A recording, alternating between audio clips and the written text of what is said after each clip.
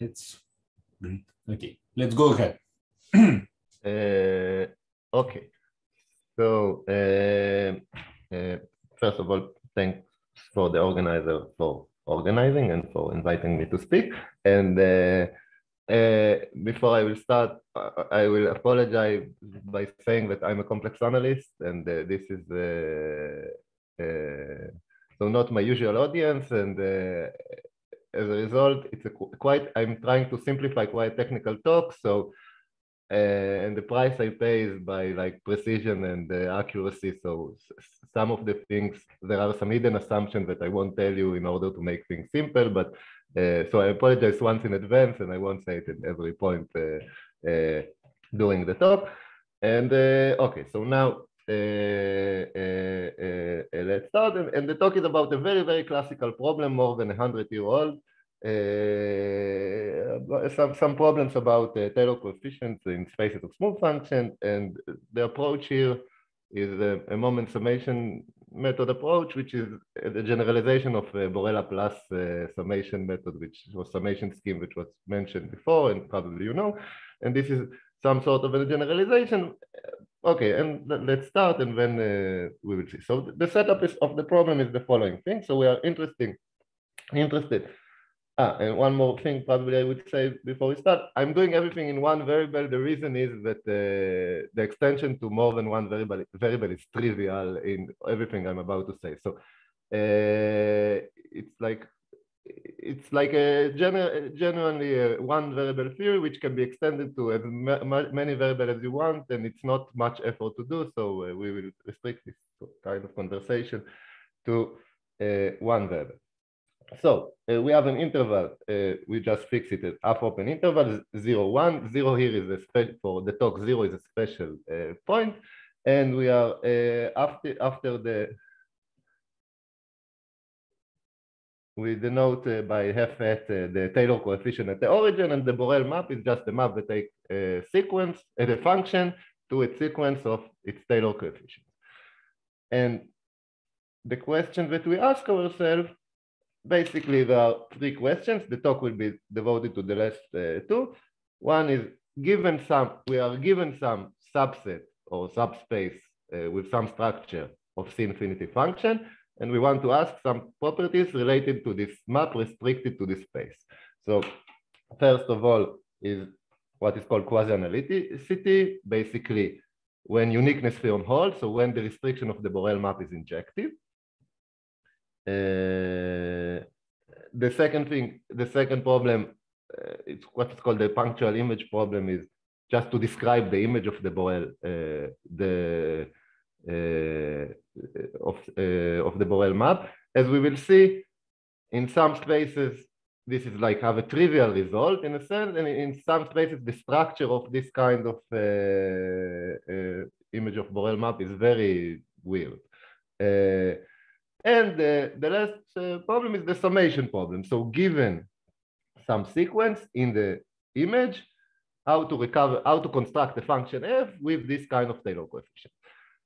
I, if a priori this kind of space is quasi-analytic when there is a unique such f, but even if it's not and there is not a unique one, how to just construct a function with in a given space with a given Taylor coefficient. Basically, this is uh, the problems that we are going to and in order to make this, this is quite vague, in order to make this concrete, we are going to fix on some, uh, ah, before that. Uh, so just let's look on two extreme, rather, rather simple things. So for in the C infinity, in the whole C infinity category, we can realize any sequence. This is what is called the Borel lemma. Uh, uh, and okay, so C infinity function are definitely not quasi-analytic. There are flat non-trivial functions, but it's uh, other than that, everything else is trivial. You can construct explicitly a function with given Taylor coefficient, just you can write an explicit formula for it, and it's not.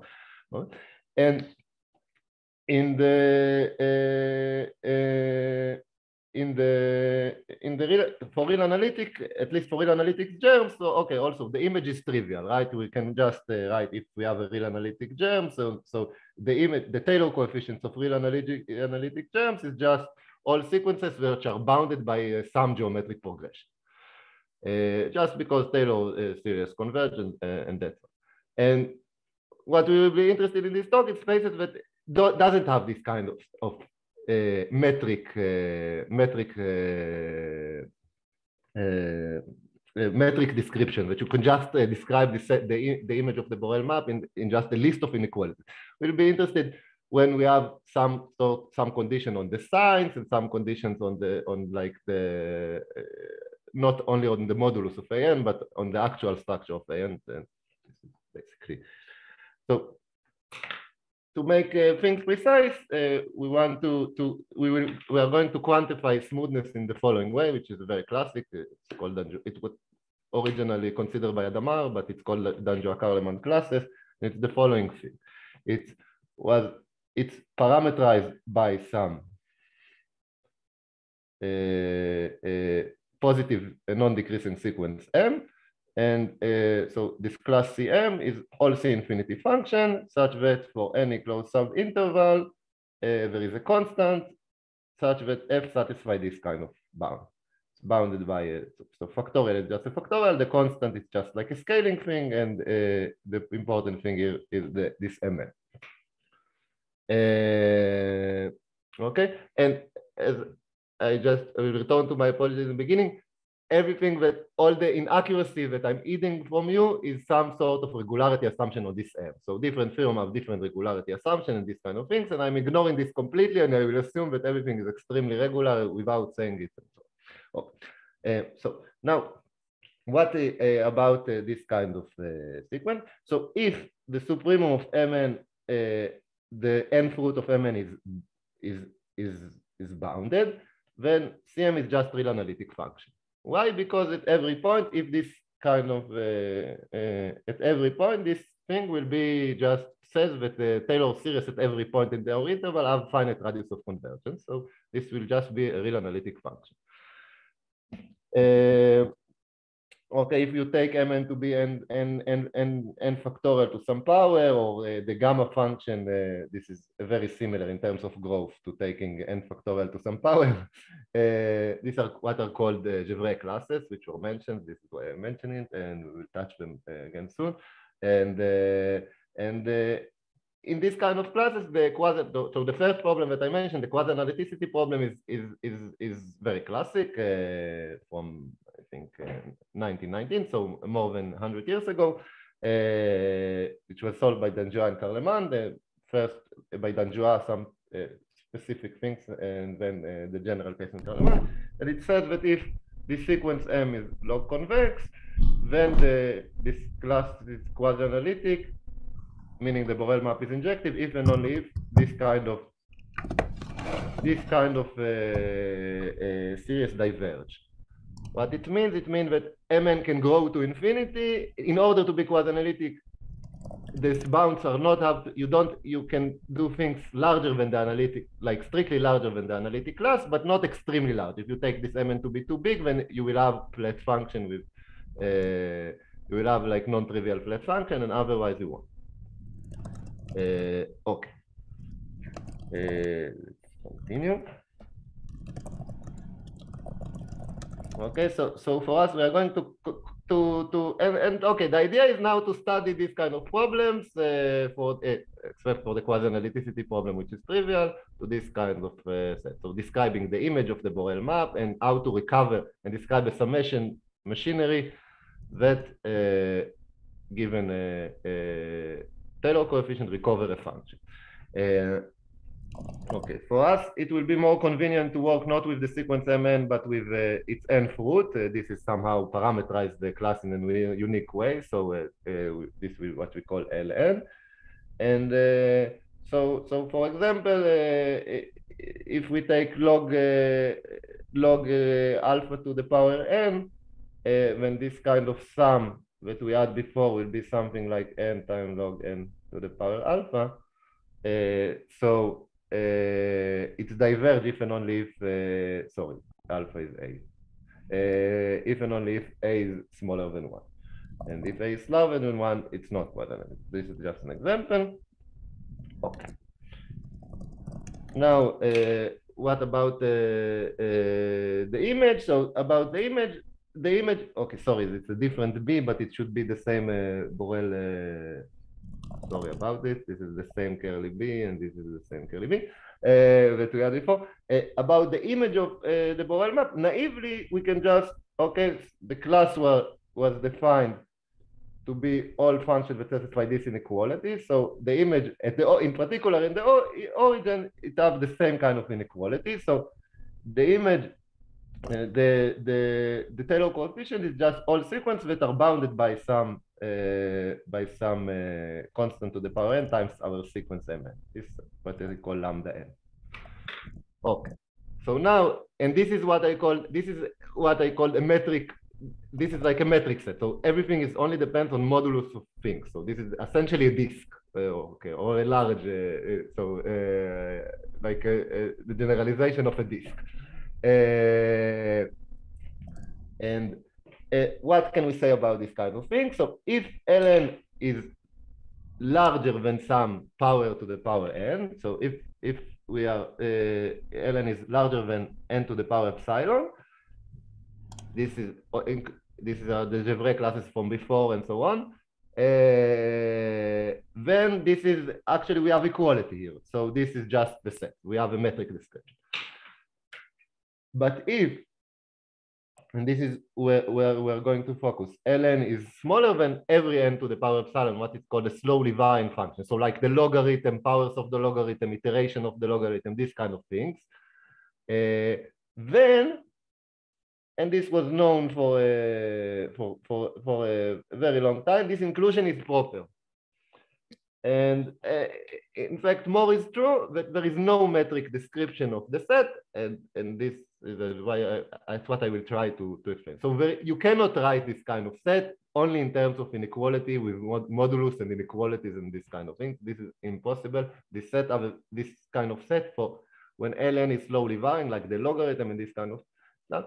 This is a, a, a very delicate set, and we will uh, this the plan is to try to describe it in some sense. Uh, mm, and one, one example that shows that you cannot do things in a metric way is what is called Borel conjecture, which is now a theorem, but it was conjectured by, by Borel, uh, and people still refer to it as a, a Borel theorem. And uh, I'm not writing uh, prove it uh, uh, for a reason because uh, many people claim that they prove it, so I'm just ignoring this argument uh, although probably most of them are not alive, not alive at the moment, so probably doesn't matter. Um, but what it says is that that if we have a, a, a, a quasi-analytic class and a function with positive Taylor coefficient, then it's immediately uh, real analytic. So it means that in quasi-analytic classes, uh, you cannot have if your Taylor coefficients are large, then they cannot be positive. They have to have some sort of cancellation. So this is uh, some sort of a hint for this non-kind of uh, metric uh, uh behavior of this kind of uh, images. Okay. So this is the setup that we are going to to to to, to look on this kind of uh, problems. And and and now the way to attack it is what for this kind of class it was suggested by uh, Beurling in the, in the paper or in the preprint that we never published uh, in 1936. Uh, but this kind of approach of studying this kind of problem for uh, this kind of techniques to this kind of problem was suggested by him. So, and it's what is called moment summation methods. So this is, uh, we are talking about methods of summing divergent series, and it's a very specific kind of method, also parameterized by the same MN, so uh, we are given a sequence mn, the same thing, it should go to infinity uh, first in terms that the nth root goes to infinity. And we assume that it's a moment function, which means that there is a function k such that uh, mn uh, or yes, uh, such that mn is are the moments of this kind of k okay? A moment um, in uh, zero infinity. Okay, now we are given a formal power series. This is the power series that we want to sum. Uh, if we have a, a, a, then we consider not our sequence, but our sequence divided by this mn. These have more chance to be convergent because it has smaller Taylor coefficients. We are dividing it by mn. Uh, if it has non-zero radius of convergence and it can be analytically continued to a neighbor of R, so a priori we assume that, uh, sorry, no, not this color, a priori we assume that it has some non-zero, uh, this is where A live, non-zero radius of convergence and it can be analytically continued along the, uh, along the positive ray. And okay, these are all the assumptions in order the summation method to work, uh, and such that the integral, this kind of integral, when we integ uh, this is kind of a Laplace type integral, converge to A, A converge to some, something, then we say uh, A tilde, then we say that this A tilde is the M sum of A, okay? This is the definition of moment summation method. This particular case, when you take uh, mn to be n factorial, this is what is called Borel-Laplace summation. I will touch it in, in, a, in a minute or two. Uh, okay? And uh, so this kind of procedure is extending the, the classical notion of convergence, and therefore it's a summation method, and uh, okay, it has some, some properties uh, which we will touch soon. Okay, so uh, but the, the important thing is it, here we, we, we, we split this kind of uh, summation procedure to, to two parts. One is from uh,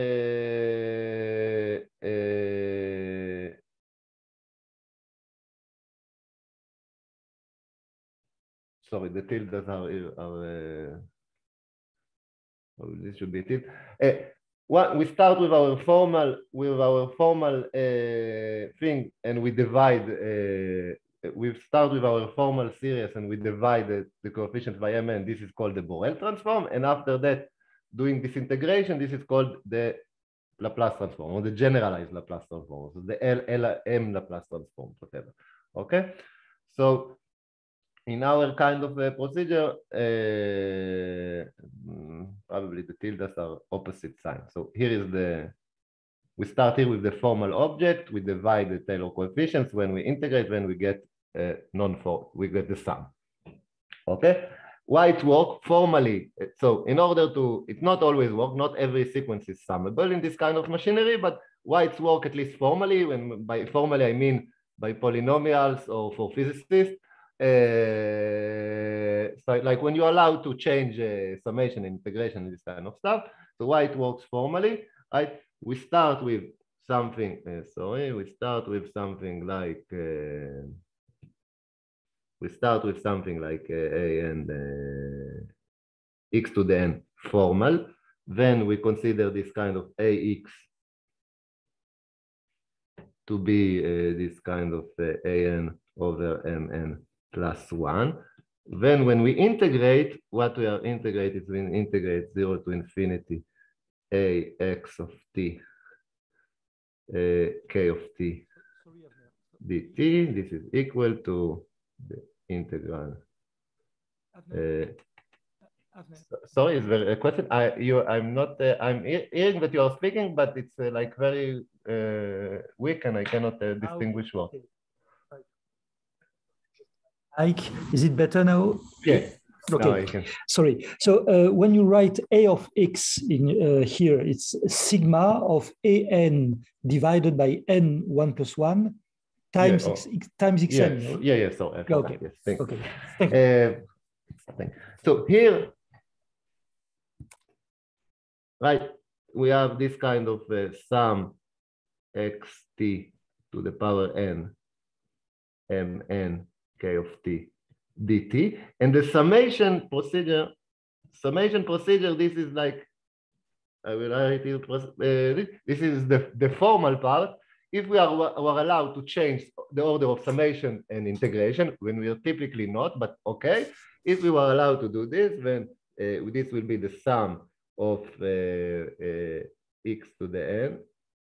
Uh, probably here should be a n as well, a n integration 0 to infinity uh, over mn t to the n k of t mn plus 1 mn plus 1 uh, dt and Uh, and this is exactly, so the mn cancel out, so an x to the n. So this is roughly,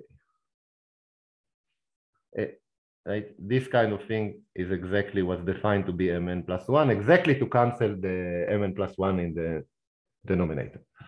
Uh, so this is a, a, a, summation scheme.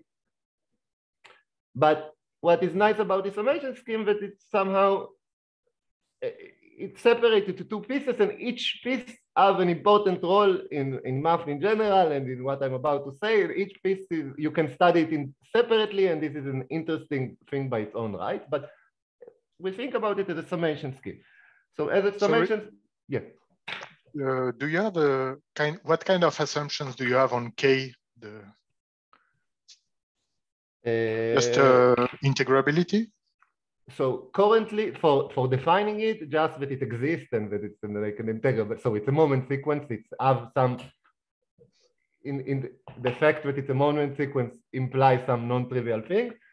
But uh, after that, in the end, in order that what I want to say will actually work, K should be analytic and regular in some, in some domain uh, containing like the real axis and I, I, I, I, probably won't get into this kind of details, uh, exact details, but you can write it explicitly. Thank you.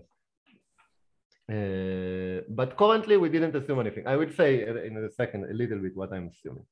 Uh, so why we, uh, this is a bit of digression about these particular summation methods and why we like them and uh, or, not, at least why, what are their advantage corresponding to other summation methods, or I don't know. First of all, this kind of procedure is commute uh, with uh, just uh, as Taylor coefficient. We are just dividing one by one the Taylor coefficient by something and multiply it by something. So it's commute with multiplying, switching x with a constant time x. And therefore, if it commute with this it commute with the infinite in the infinitesimal generator of this group, which is this kind of differential, this Euler differential operator. Uh, uh, which so you can solve equation. So as with the Laplace transform, you can if you want to solve equation, you can do the transform, solve it there. Sometimes it's algebraically simpler and come back. Uh, and then two properties which are very naive uh, for uh, in general for summation method that these things that we want in order to work with them, what is called stability and regularity. Stability means that uh, if you sum starting from n equal to zero and sum from n start to, to, to, one and take the difference, then you will get a naught, you will get the first one, so you, that you can do that. Uh, and, and regularity just means that uh, for convergent things, you expect to get convergency. So the same sum. So it's not, uh, it really extends the notion of convergence and not uh, give some, some other values to convergence things. Okay. And, uh, and typically you also want that it will respect analytic continuation, uh, this kind of stuff. And, and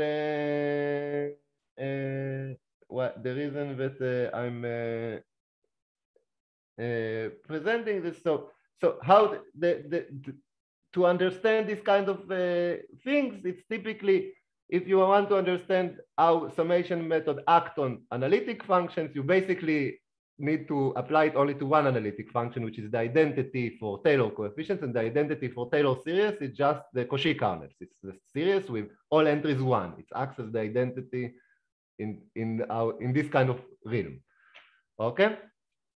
And so uh, and uh, so this kind of turns out that this kind of function which is just uh, this kind of entire function which is just e to the z which is just the this generalized Laplace transform applied to the Cauchy kernel it plays basically in terms of properties of it and of this function k, you can say everything you want about this kind of summation. This is parameterized by these two objects. Uh, so for instance, a necessary condition for regularity on uh, for this kind of regularity and uh, stability is exactly that this integral is uh, is uh, recover back the Cauchy kernel, and this you want to do including in one. In, in one meaning that it gives the value infinity. Okay. In summation theory in general, you can never sum the function one one one one, one the the Cauchy. You can never sum the Cauchy uh, kernel at the point one where it gets the value infinity because the difference between one one one one one and the shifted this this kind of uh, uh, one one one one sequence is invariant by shift, so we will never get stability. Uh, okay, I will assume something more, much more stronger than this kind of thing, and then we will do examples and you will see that it's typically the case that uh, this kind of uh, k is uh, asymptotically equivalent to, to, to 1 over e and vice versa. So let me give just some examples. Uh, so the first one is the Borel Laplace. So here mn is n factorial, k of t is e to the minus t and e of z say is e to the power z. This is rather magical, uh, but this, they match perfectly, but they always almost match, uh, or under some regularity, they almost always uh, almost always match, and this is enough. In the logarithmic level, they are typically matched for some regular. So another example, right, you can do, uh, uh, this is sometimes a tribute to Mittag Leffler, uh, you can take uh, Mn to be uh, gamma of, uh, I don't know, An plus one, extending this kind of thing, and then probably K of T is something like e to the minus T over A or almost something like this. And E of t is uh, asymptotically the same thing.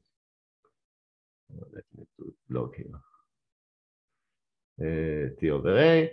Uh, you have, uh, let's do one more, is due to Beurling summation method. Uh, it's mn equal to log n to the power n. And then you get k of t log of k of t is uh, minus e to the t over t. This is double exponentially in growth. When you decrease mn, you increase this function e and you decrease this function k.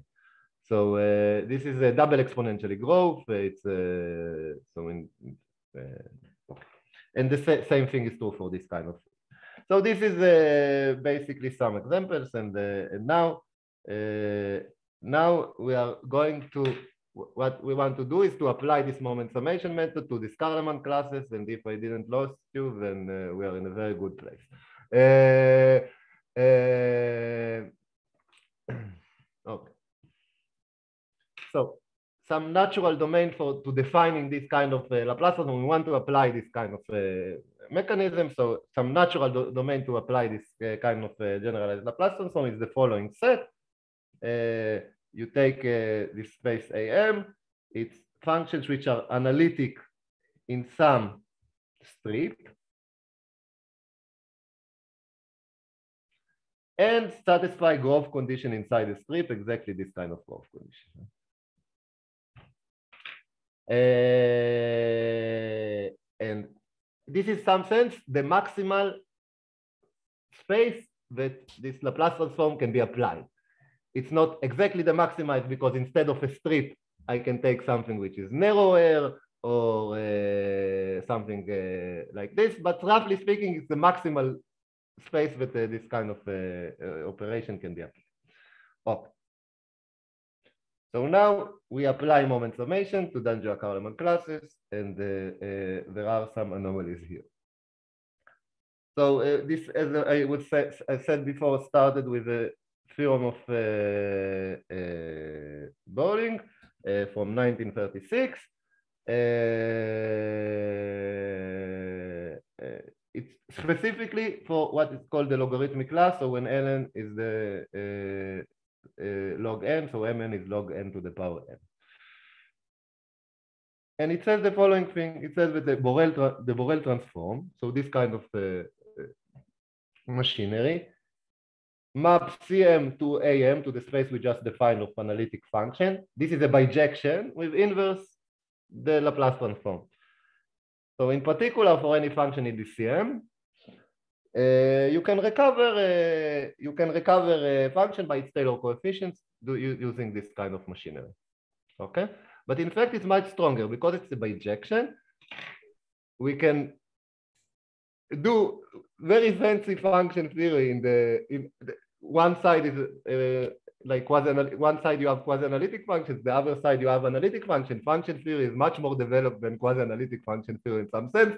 So you can do very fancy quasi uh, function theory on this side and come back and uh, uh, surprisingly, there are things uh, that you can do in the quasi-analytic side and go to to to prove non-trivial results about function theory. But this is like a, a proper bijection. And in some sense, it's, this, it's, a, it's a way to describe the cancellation of the function, right? We start with uh, element f in Cn, so it means that its Taylor coefficient is bounded by uh, something like uh, c to the power n plus 1 uh, log n to the power n. But what this theorem says, it says, says that if I will divide this Taylor coefficient by log n to the power n, so if I will look on fn to the power n over log n to the power n, this is a priori should have finite finite radius of convergence. But because of this kind of description, this theorem guarantee that it will have analytic continuation to a whole strip and some growth restriction in infinity. So this is the way, this is the reason why it cannot be positive. Positive things don't want to be analytically continued in a sense, in a direction. If you have a positive thing that can be analytically continued to the right, it can be analytically continued globally. Uh, uh, so, so this is a way to very accurate way to describe cancellation in, in the Taylor series uh, of this kind of uh, hopefully. Okay, so then I, I, was attempting to generalize. I was sure that this theorem is true in general. I was trying to generalize, uh, generalize it to to to to to to to, to other uh, sequence, and something surprising happened. and it was something surprising and Beurling mentioned, uh, at least uh, this was uh, it was written, his Beurling work was written in handwritten in Swedish, so up to some Google Translate, he was claiming that it should work for all classes, uh, for all uh, slowly varying, like uh, kind of, and this was quite surprising that it turns out that this kind of logarithm is a threshold. So the same theorem exactly is true if ln is below the, the logarithm, but it's stopping to uh, after the logarithm. So in this kind of sense. So if ln is smaller is O of the logarithm, then the same is true. I'm not even no, not writing it again. The same kind of bijection holds.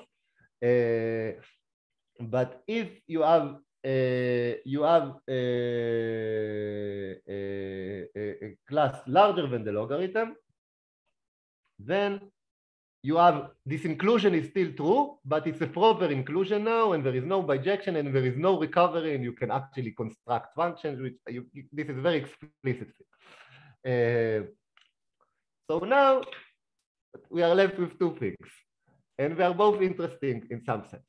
One way is to the problem that we start with is uh, uh, describe this kind describe this kind of uh, set uh, the image of the Borel map, which is the same as the image of the Borel transform, which is essentially the same as describing the Borel map. It's just dividing term-wise by something uh, in this kind of super logarithmic case. So when we are above the logarithm and describe the image of the Laplace transform uh, on our set uh, in, in, this in this kind of super logarithmic set. In some sense, and this is a very vague thing, uh, this is the maximal set where M summability is applicable. You can increase the set uh, by taking narrower, uh, instead of a strip, taking a narrower thing, or replacing analyticity by something weaker than analyticity, and everything is covered by this field, but I'm not, I don't want to get into it uh, because of details, so this is uh, somehow uh, this two uh, kind of problems are So now uh, I, I want vaguely to, to, to explain uh, uh, what is going on behind, so in this kind of two situations. Um,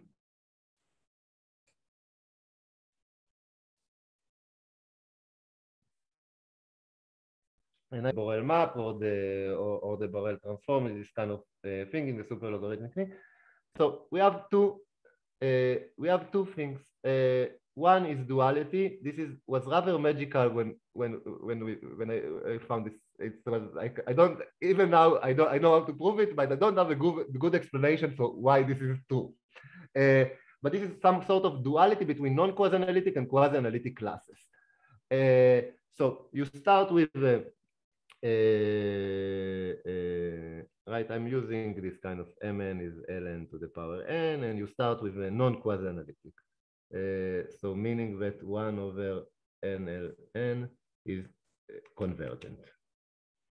Now we define a new class, a new sequence ln tilde, which is given by ln sum 1 over, uh, let's do it with k, klk, k goes from n to infinity.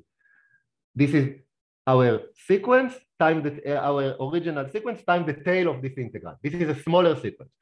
And okay, uh, this is the ln.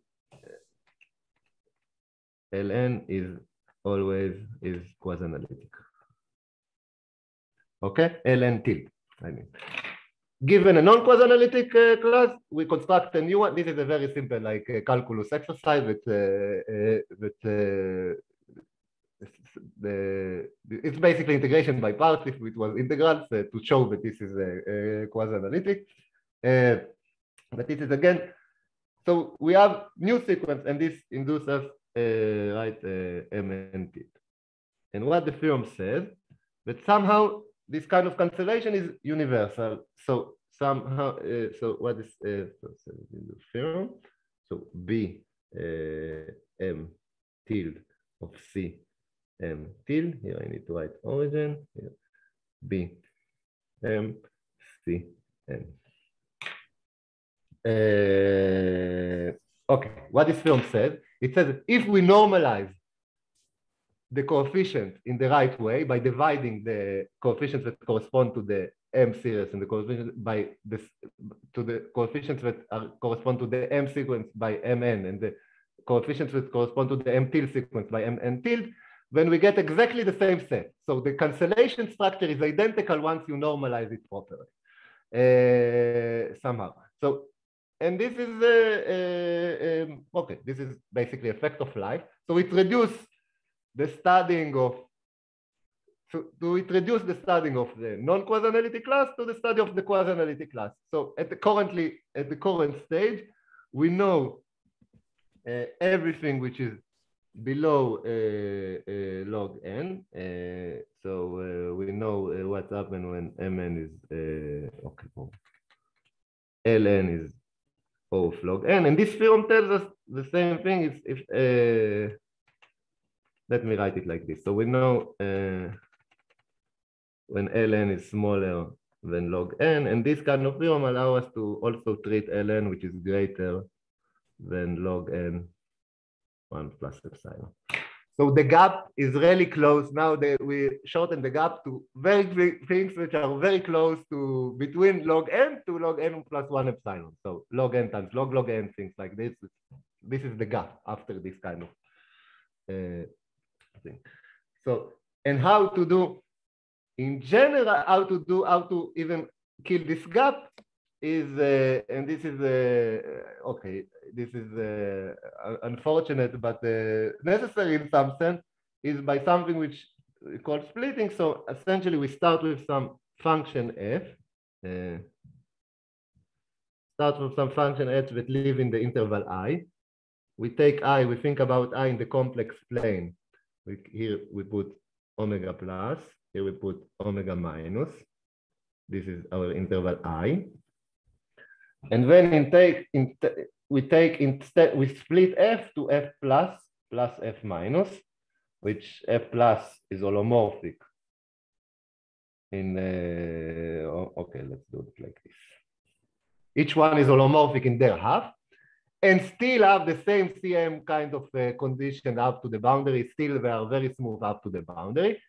And quite remarkably, we cannot describe the set of this F, the, the, the, image of the target of this F, but we can describe, and I won't write it explicitly, in terms of inequalities of uh, or in terms of uh, inequalities of analytic function in the upper half plane, we can describe uh, uh, uh, this kind of BMF plus separately and BMF minus separately.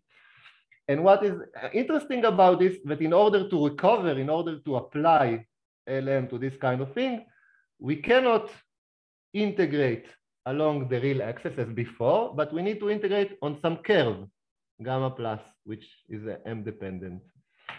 There is some curve, explicit curve, which you cannot move by much, that you have to integrate there in order to recover function in this kind of way. Now, of course, this kind of decomposition, uh, I probably should mention, this kind of compo composition—is non-unique, but is unique up to an analytic function. So it's not unique in general, but in terms of the things that I care about, uh, uh, analytic functions of small Taylor coefficients, they are not affecting much uh, in this kind of thing. Uh, so it's almost uh, like a unique decomposition. So it's not a, a, a, as nice description as the one before, but okay, this is life and this is what it is. And uh, this is uh, just uh, one thing that I wanted to say. And the final thing that I, I want to say is, is it's so it's about this kind of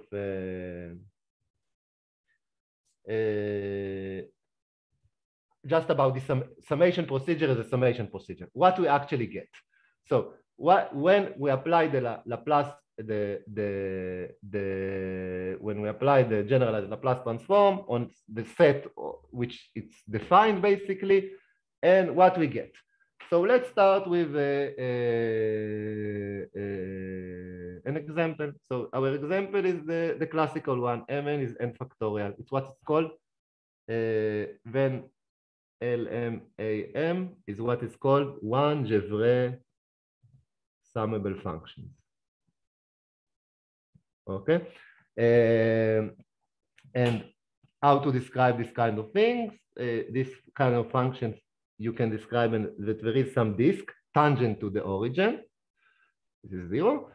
And there is some disk and they are analytic inside. So let's call this disk D and the functions that are, uh, so f is in this kind of uh, LMAM, f should be holomorphic in D, and f should be uh, in this kind of C n factorial.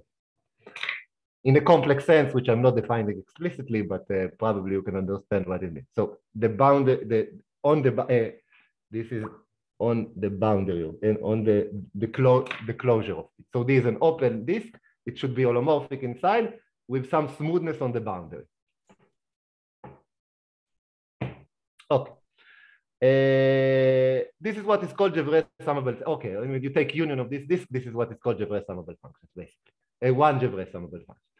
Uh, and, and the idea, there is some dichotomy. We, when we took log n, when we took the Beurling case, we didn't have, we only have this kind of uh, CM here. And we didn't have this kind of extra holomorphicity. And the question is where this kind of holomorphicity is coming from and what, what, what is going on here? Why we have this kind of... This is a, uh, ah, this was just a random noise, right? Uh, okay. So the question is, there is some sort of a dichotomy here between uh, holomorphicity inside in the classical case, in the like, uh, uh, by the way, this kind of description is due to, to Nevanlinna, it's also from 1919. Uh, this kind of uh, description in this uh, context of the n factorial. and later on, it was started to be called Gevrey classes and this kind of things came later, that's the no notion but but what I'm trying to say is, is, is, is that somehow this there is some sort of uh, uh, uh, gap between these two kind of results, and I, I, I was trying to think if there is one way to to to do this kind of uniform this kind of two uh, two things together, and there is, and in order to understand it, we need to describe analyticity in the disk in a in a slightly different way. So how to describe, we want to forget about the holomorphicity part and to describe analyticity in the disk just by looking on the real plane. So what is going on? So what I'm trying to say, uh, sorry, I'm trying to, uh, I have my disk here, which I'm holomorphic inside, and I have a point here, x. So the radius of convergence of this point x should be exactly x. Meaning that if I have a function holomorphic inside, it will have a bounds of this form, uh, up to a constant. Right? So this is a, a, different way to quantify smoothness. The Carleman classes is independent of our position, but we have additional smoothness which are position dependent and it gets worse and worse and worse when we uh, close to the origin. And it turns out that if you combine these two kind of things, in general, you will have a very general theorem that covers all the things that I just say, and I, I'm not writing it uh, explicitly, but basically it's what we call non-homogeneous Carleman classes. So we consider function f which satisfy inequalities of this form. Mm.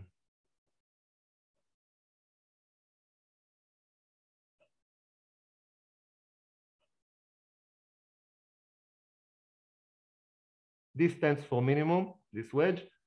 So you take in qualities, functions that satisfy two inequalities, one for the sup norm and one which is position dependent with this one over x. It's the same as saying, uh, this is, by the way, very similar to say that, uh, I don't know, dn to dxn of f of e to the x is bounded by uh, m and tilde. Uh, it's not exactly the same, but it's almost the same. This inequality and this inequality are roughly the same. Uh, so there are like two re regimes of smoothness. And turns out that for any m, there is an explicit mn hat, which I can write in a formula, uh, uh, which I'm not going to do. I will give some examples, but I'm not going to, or maybe probably I will just show two examples. For any m, there is an explicit mn hat such that uh, when you apply this procedure, this is exactly what you get. And there is nothing special about the logarithmic class, just that this kind of inequality, this always will be always the minimum. And this is won't be the minimum. And there is nothing special about the n factorial the, the, the n factorial class, uh, just this thing will become a factorial. Uh, okay. Uh, so let me just show you the correspondence. Probably I forgot here factorial. Uh, right? Let me do a factorial here. And okay. And this is just uh, for, for uh, I, I don't want to write a formula. It's quite complicated to write the formula for man, but this is just like uh, the correspondence between this kind of. So you start with M.